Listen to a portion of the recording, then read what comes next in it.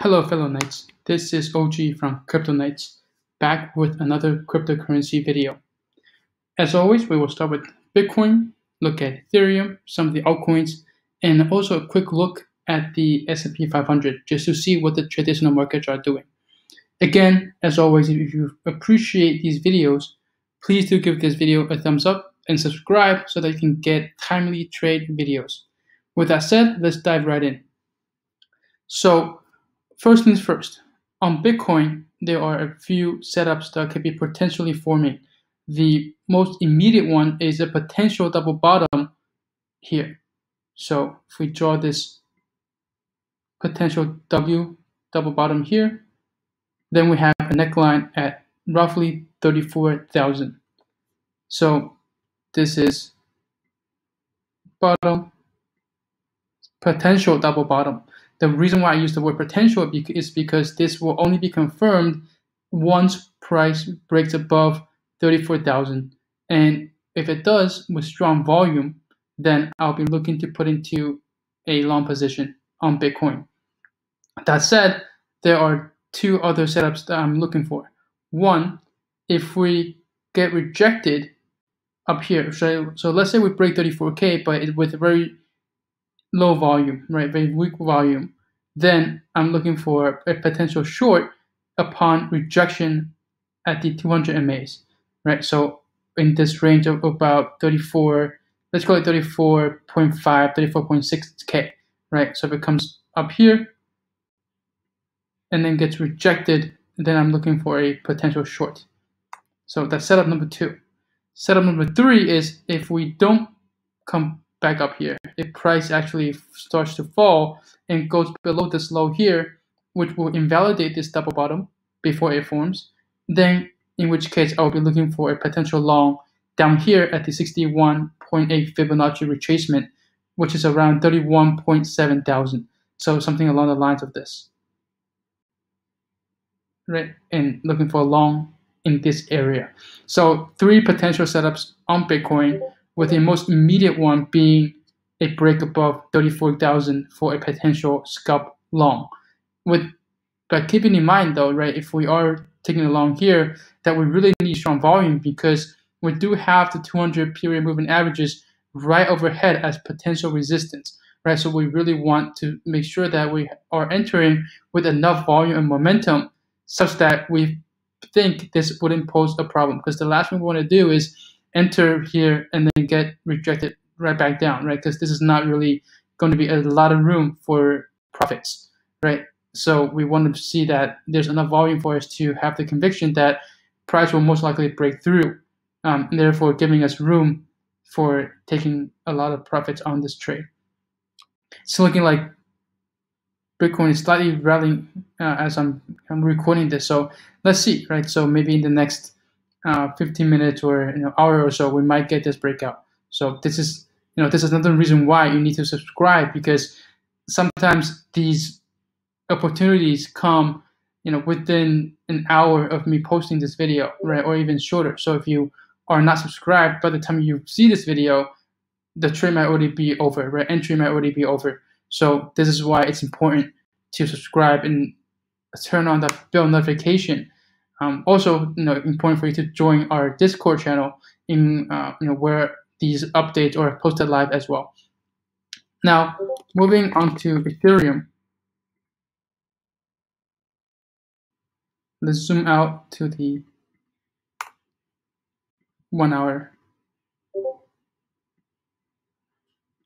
So what we see on Ethereum, right, is we had this double bottom here with a breakout at 1900.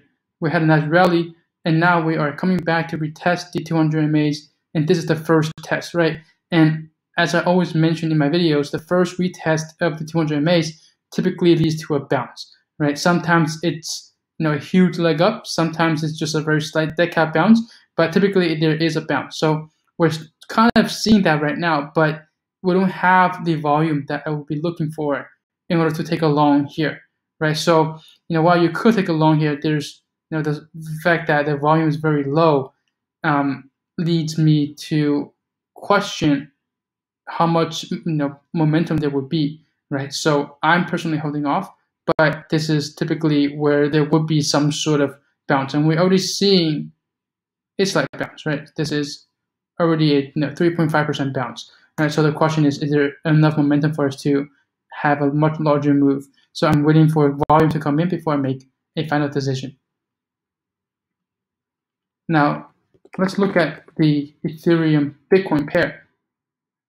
Yesterday, I mentioned that, right, in my video yesterday, that Ethereum Bitcoin was trading within this zone, right, this horizontal consolidation zone with you know support here and then resistance here. And if we were to break out on either side, then it would be a good place for a long or a short.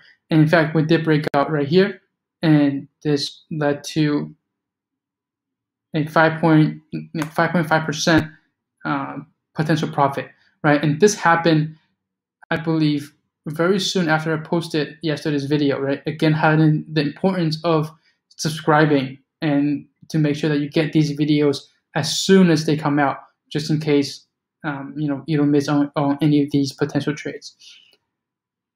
Now, what we're, we're looking for is there's a potential for price to come back down here, right, for a retest and a bounce.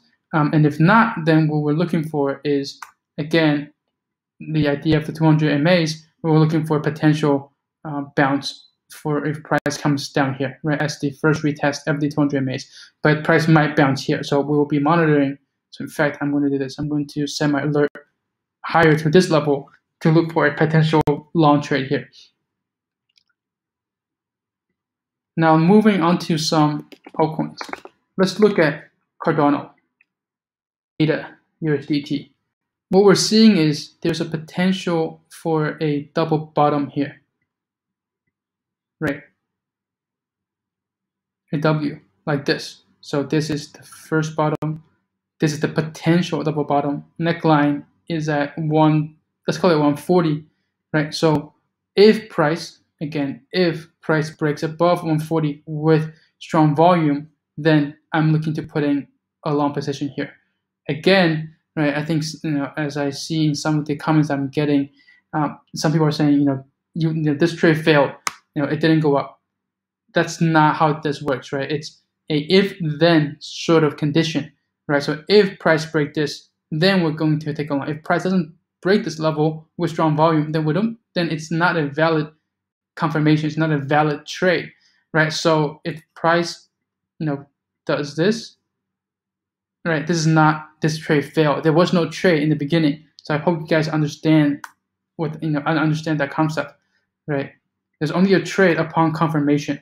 We are the reason why I'm sharing these potential setups because then you can prepare yourself if that you know condition is met.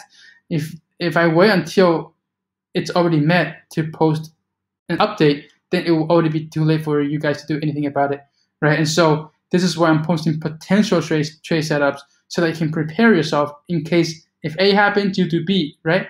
That's how I want to set these, you know, to set up these videos. So hope that's clear. Now, let's move on to Binance Coin. So actually today we're seeing a lot of the major altcoins being a similar pattern and potentially also forming these double bottoms, right? So same thing as on Cardano, we're seeing on Binance Coin, right? Here's the first bottom, potential double bottom here, neckline at 305, 306, let's call it. So if break price breaks above 306 with strong volume, then potential long here.